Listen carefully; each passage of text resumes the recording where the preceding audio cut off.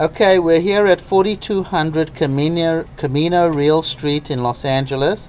You see, this is backing up on the bottom. Mm-hmm. This is actually looking straight down. This is uh, by the garage, mm-hmm. right at the six-inch pipe. You see, it's backing up. Mm-hmm. Look. So from that point, we're unable to check the pipe going into the street. Right. Coming back now, you're coming up horizontally by the garage, where I told you. See the pipe. You see all the the, the debris and stuff that's going to catch. Of course, the pipe is much uh, lower uh, at the street level than the house, so you've got a good weight of water.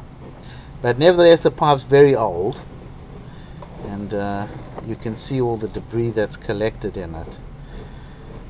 It starts coming horizontally, or now it's going to start coming up the the embankment. So this is the piece coming up the embankment.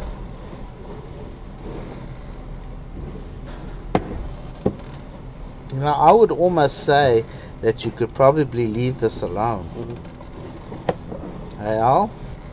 Because then, now you're going to come start horizontally, Right. where I showed you on the hillside.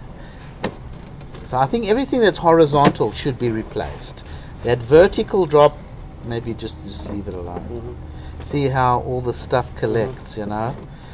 It's all coming back. And It's going to come back under the house.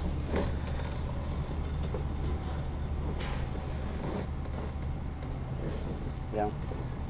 Look.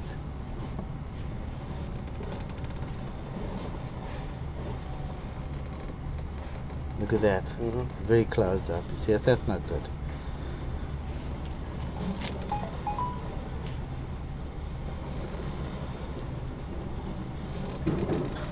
Now you come back to the ABS plastic. The rest of the pipe coming back is all good. Yeah. So